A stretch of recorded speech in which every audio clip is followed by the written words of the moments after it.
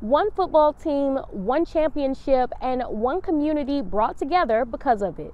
My heart is just so full because it's been a long time coming. I'm Candace Blake, your Thomasville neighborhood reporter, and for the first time in over 20 years, Thomas County Central football team is celebrating a championship title. They're gonna ask me, when the last time y'all won? Last night. Win for the Thomas County Yellow Jackets is putting Thomasville and Thomas County neighbors in good spirits. Go Jackets, we are so proud of you. Congrats for bringing the championship home. Tuesday night, the Jackets beat out Woodward Academy War Eagles 49 to 28 for the state championship title. It had been more than 20 years since that had been done before.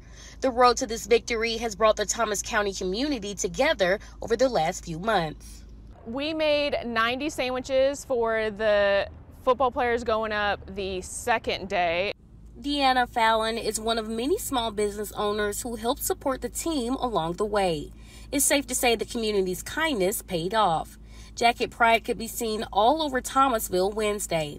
While riding through town, I even spotted a woman wearing the team proudly on her shirt.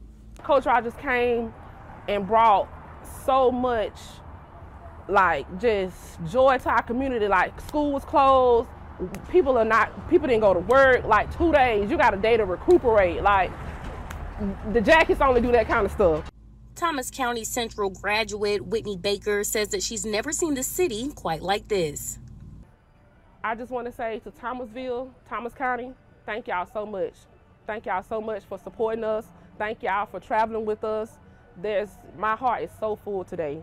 As for what's next, Principal Thompson tells me that the Yellow Jackets will be celebrating the football team Tuesday at 7 p.m. at no other place than the Jackets Nest.